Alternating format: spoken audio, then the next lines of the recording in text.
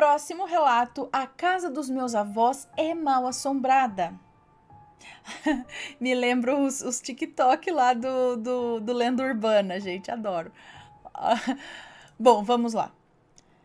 É uma moça que nos conta. Isso aconteceu com o meu pai há 10 anos atrás. Minha avó estava com câncer na época e ela estava internada num hospital em Porto Alegre. Então a casa dela ficou sozinha na cidade do interior em que ela morava. E o meu avô pediu para o meu pai ir dormir lá, para que não acontecesse nada, como, sei lá, alguém entrar na casa para roubar. Então meu pai me contou que nessa noite ele estava deitado na cama, no quarto dos meus avós, e sentiu um sopro no pescoço. Ele foi se mexer para ver se era algum ladrão que teria entrado na casa, mas de repente ele não conseguia mais se mover. Ele estava paralisado. E ele enxergava uma coisa que era metade bicho e metade pessoa. E havia uns chifres também.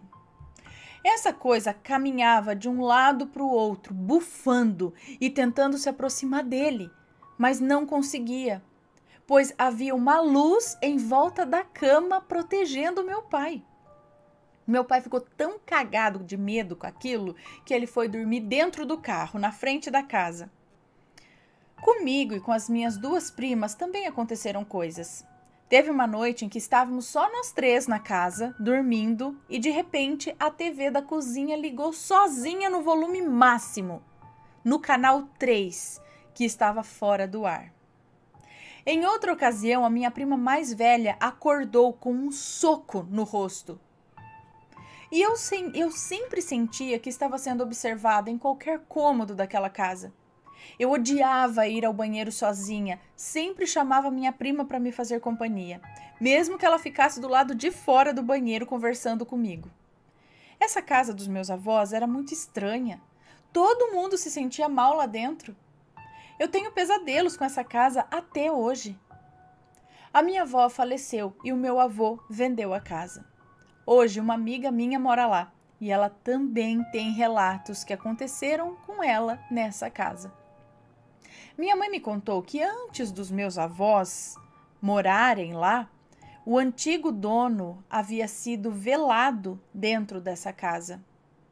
Não sei como ele morreu e não sei se é ele ou outra coisa que assombra a casa, mas a energia é muito pesada mesmo. Eu fico com falta de ar e parece que estou sendo apertada dentro de uma caixa quando eu estou dentro dessa casa. Claro que hoje em dia eu nem vou mais lá, eu me recuso. Gente, como tem casa, tem ambiente que é assim mesmo, parece que você tá assim, ó, ai, sufocado lá dentro, é esquisito, é uma coisa que você não sabe explicar, mas não é confortável, não é legal ficar ali. E eu não tô falando se é casa pequena, se é casa bonita, casa bem arrumada ou mal arrumada, se é casa. Não. É, é o, o ambiente, é, o, é toda um, uma atmosfera estranha, não é? Quem aí já esteve numa casa assim? Que dá um medo sem explicação, sabe? Né? E aí, tá gostando dos relatos? Então o que você acha de deixar um like aí no vídeo, hein? Gosta dos relatos? Deixa o seu like, mesmo que seja nos cortes.